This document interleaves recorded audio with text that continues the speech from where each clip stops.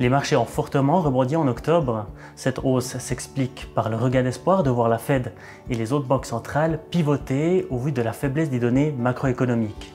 Alors les banques centrales ralentiront leur processus de resserrement monétaire en 2023, mais parler aujourd'hui d'une possible baisse de taux semble encore prématuré.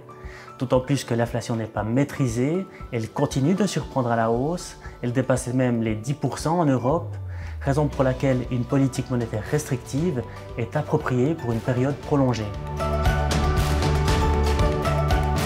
Notre attention restera focalisée sur les résultats d'entreprise du troisième trimestre.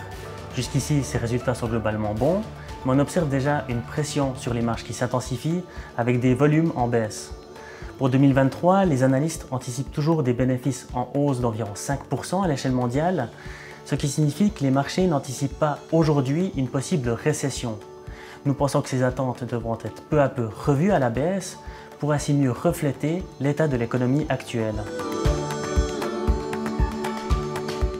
Les attentes bénéficiaires trop élevées, les risques conjoncturels et la politique monétaire qui restera restrictive nous invitent à rester prudents sur les actions et à maintenir notre biais pour les marchés défensifs comme la Suisse.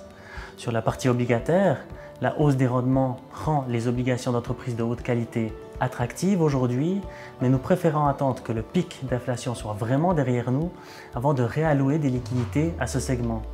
Finalement, dans la partie alternative, nous restons neutres et gardons notre préférence pour l'or qui permet au portefeuille d'être stabilisé en cas de hausse de la volatilité.